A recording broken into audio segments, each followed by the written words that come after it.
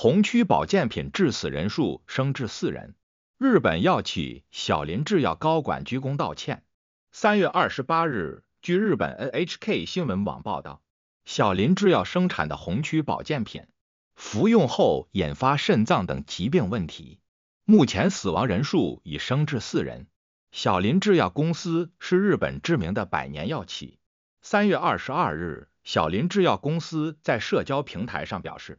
他们生产的保健品中含有未知成分，很多消费者服用后肾脏功能出现了问题，所以紧急召回约三十万份该保健品。据央视援引日本广播协会 NHK 报道，三月二十六日，日本厚生劳动省公布了因服用了该公司生产的含红曲成分的保健品后出现的第二例死亡案例。到三月二十六号为止。因服用红曲保健品导致入院的顾客已达一百零六人，因此小林制药也出面紧急呼吁消费者停用相关产品。截至三月二十七日，小林制药公司的股价已经因为红曲问题累计跌幅近百分之二十，总市值五天内蒸发约合人民币四十三亿元。日本媒体报道表示，其实早在三月十六日。问题产品的分析结果就已经表示了其中可能含有未知成分，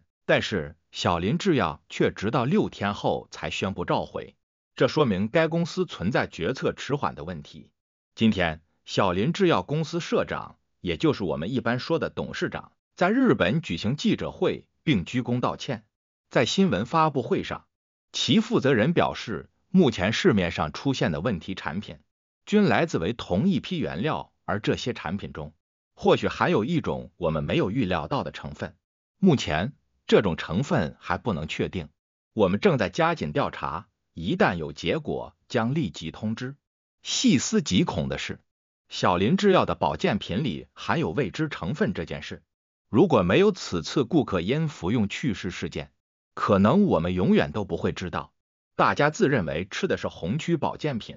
殊不知，等待的结果却是肾脏受损，甚至丧命。更可怕的是，小林制药其他产品在我国也非常普遍，多个主流电商平台都有他们的官方店铺。比如，他们的主要产品退热冷贴系列冰宝贴、一次性使用怀炉系列暖宝宝、芳香剂系列爽花蕾及香居源等等。这件事最令人震惊的地方在于，小林制药是一个百年老牌药企。该公司的一些常备药品，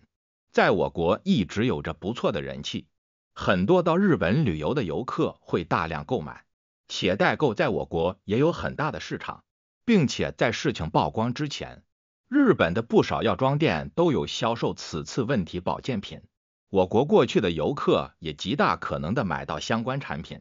小林制药产品示意图，三月二十二日。小林制药中国官网也发布了关于停止使用红曲胆固醇颗粒及自主召回的通知，其中提到有部分产品跨境流入中国。小林制药表示，本着对消费者负责的态度，将自主召回用红曲原料的相关产品。目前，我们可以通过在天猫、拼多多、京东搜索发现，小林制药旗舰店已下架相关产品，事态还在进一步的发酵中。媒体报道称，小林制药每年生产红曲原料约十八点五吨，百分之二十自己使用，剩余的百分之八十成作为原材料出售给五十二家国内外企业，并且在八年前就已经开始进行销售。与此同时，日本的一些酒类及食品类商家也相继发出公告，将以小林制药生产的红曲为原材料的产品召回。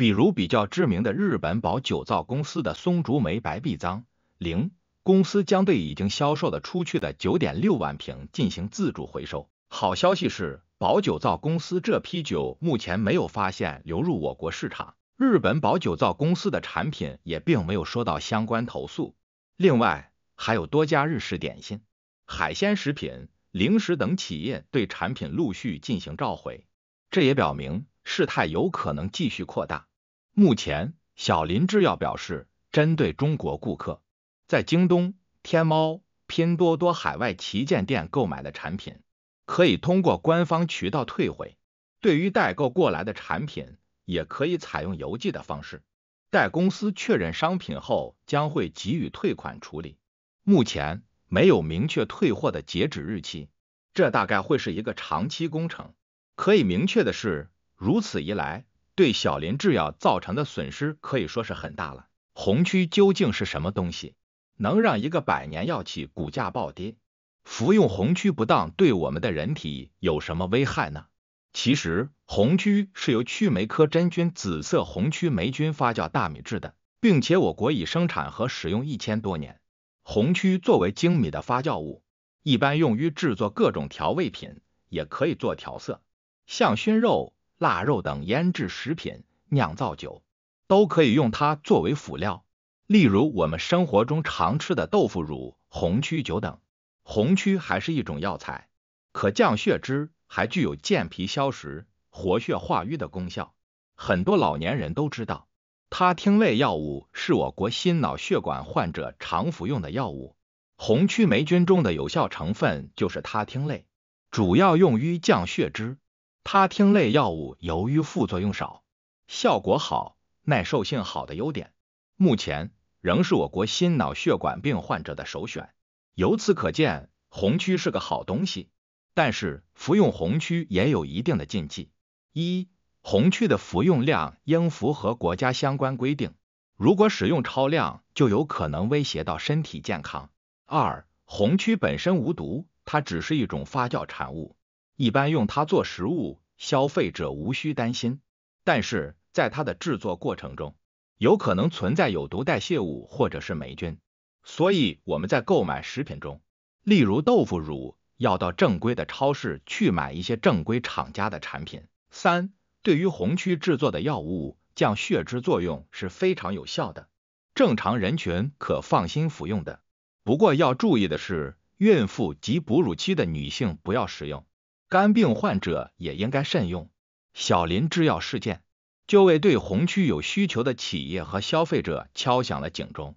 一个企业的发展离不开产品质量的保证。要深刻认识到药品、食品生产中的安全性，对原材料的选型以及生产流程的各个环节都要进行严格把关。只有将安全放在首位，企业的声誉和消费者的权益才有保障，才能确保企业的可持续发展。作为我们消费者来说，也要擦亮眼睛，不要盲目的使用所谓的保健品。